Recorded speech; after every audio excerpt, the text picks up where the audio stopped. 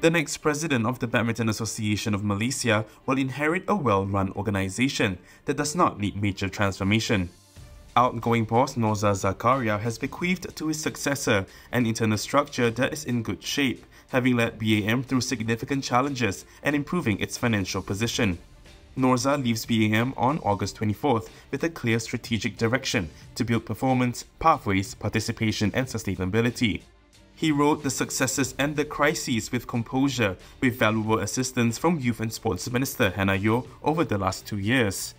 On his watch, BAM signed its biggest sponsorship deal with Petronas in 2022 for a three-year period, on top of a five-year sponsorship deal with Yonex worth 55 million ringgit in April 2021, among others.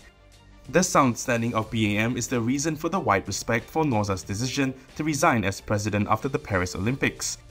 He has also acknowledged that Yeoh had helped him greatly in advancing Malaysian badminton both internationally and locally since she became the minister about two years ago.